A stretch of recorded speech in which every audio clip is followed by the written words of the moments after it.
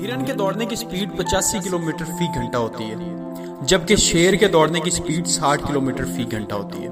इतना तेज दौड़ने के बावजूद हिरन शेर से बच नहीं पाता। फिर भी शेर हिरन का शिकार कर ही लेता है, क्योंकि हिरन के दिल में एक डर छुपा होता है। पकड़े जाने का डर होता है, मारे जाने का डर होता है। इसलिए वो मुड़ मुड़ कर पीछे देखता रहता है और हिरन की स्पीड कम हो जाती है। और यही डर जो उसके दिल में बैठा होता है, ये इसकी जान लेने का सबब बन जाता है।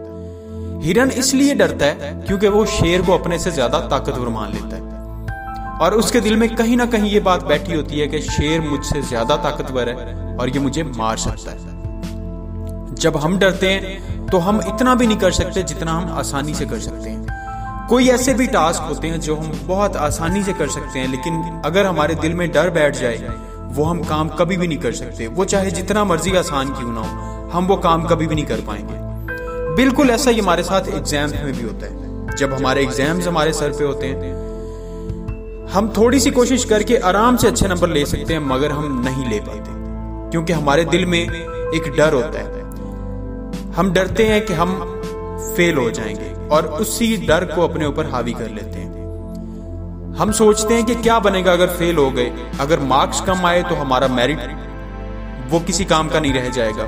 जब आप डरते हैं और इस डर पर काबू नहीं पा पाते, आधी जंग आप पहले ही हार चुके होते हैं। जब आपके दिल में यह डर बैठ जाता है तो आपकी आधी जंग तो वहाँ पे आपने हार दी। उसके बाद आपके पास चांस नहीं होता 50 परसेंट आप हार चुके होते हैं, क्योंकि आपने दिल से हार मान ली होती है।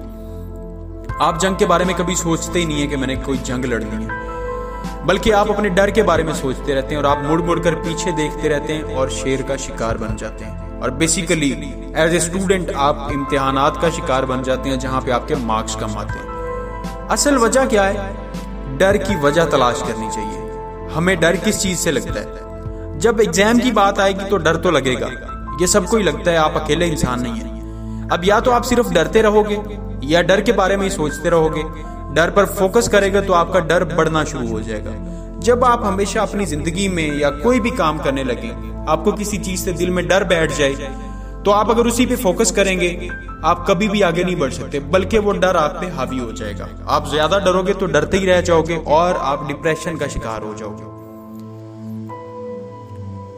अगर आप डर की वजह ढूंढना चाहते हो, डर पे काबू पाना चाहते हो, डर की सबसे अहम वजह जो होती है, वो ये होती है कि हम अपनी उस जंग के लिए तैयार ही नहीं होते। हमारी तैयारी नहीं होती। वो ज़िंदगी की कोई भी जंग क्यों ना हो? हम ज़िंदगी की कोई भी जंग लड़ रहे हैं, हम उसके लिए तैयार ही नहीं होते। सेम इसी तरह से, हम एग्ज़ाम्स के लिए तैयार ही नहीं होते। मान लेते हैं कि एक पेपर में दस सवाल होते हैं। और अगर आपके दस के दस सवाल बहुत अच्छे तैयार हैं तो ऐसा समझें कि आपके लिए तो हलवा है। आपके सामने वो दस सवाल पड़े हैं, जो दस सवाल आपने तैयार कर लिए हैं। उनमें से जो मर्ज़ी सवाल पेपर में आ जाए, आपकी तैयारी बहुत अच्छी है। आप कभी भी नहीं डरोगे, आप बहुत अच्छे मार्क्स ले जाओगे। लेकिन अगर आप तीन सवाल करते हैं या चार सवाल कर लेते हैं जो आप बहुत अच्छे से कर लेते हैं, पाँच से छह सवाल वो होते हैं जो आप नॉर्मल से करते हैं। जब आपने तीन से चार सवाल अच्छे किए हुए हैं, जब आप पेपर देने जाओगे, आपके दिल में एक डर बैठा होगा कि मैंने तो सवाल ही तीन से चार तैयार किए हैं, दस सवाल थे टोटल अगर वो तीन से चार ना आए, बाकी छह सवालों में से कोई सवाल आ गया तो मेरे नंबर कैसे आएँगे?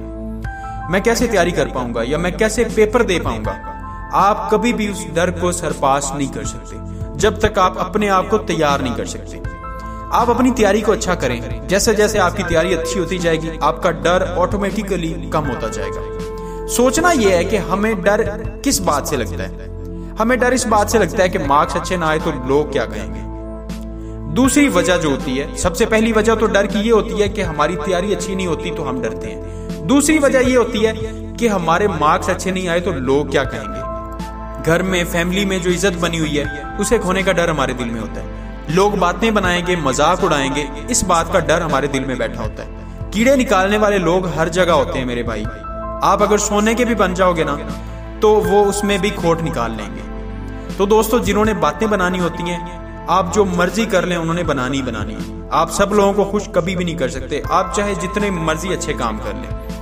लोग बस हमारी एक गलती का इंतज़ार कर रहे होते हैं, इसलिए उनकी परवाह करना छोड़ दें।